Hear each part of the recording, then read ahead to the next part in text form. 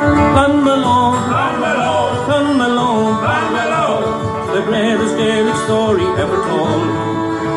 Oh, they said we'd fade away, but the olds are here to Welcome to today, and as you can see, the fields are full of boys and girls having great fun playing hurling and football. Uh, none of this would have been possible without the foresight of people who joined the Tipperary draw um, 30 years ago now. Hi all, it's because of the generosity of the people of Clonmel and its surrounds that Clonmel is the vibrant club it is today. And it's because of your contribution to the Tipperary draw that uh, have managed to purchase 10 acres of land and develop two beautiful playing pitches. So right behind us we have our beautiful club rooms which uh, host the bar and uh, facilitates 150 people. We also have a gym, so we'll go in now and we'll have a look at our gym.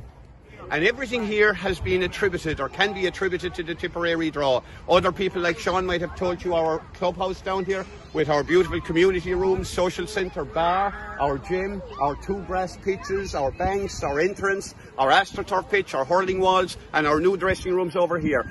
Every bit of that, every bit of that has been attributed to the Tipperary draw. Hello, my name is Irina. I'm from Ukraine, and my son uh, comes to Clonmel Og every Saturday. It's a great place um, for the children to learn GAA skills and for parents to meet. So I'd like to ask and support um, um, Clonmel Og by buying a draw ticket. Also because of the Tipperary draw we have managed to build this beautiful hurling wall and also this lovely astroturf uh, that you can see. Hi, my name is Seelan from South Africa.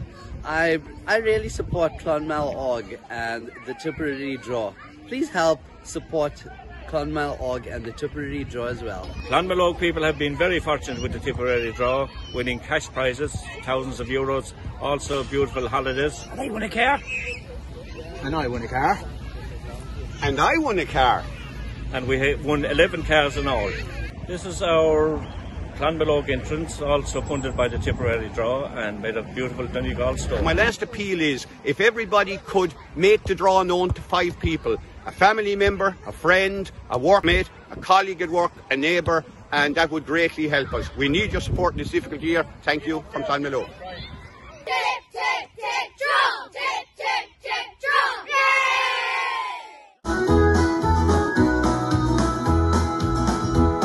And Gary and the Swan, oh, the young rogues they played on, and Grangemore for prize we played in merry play.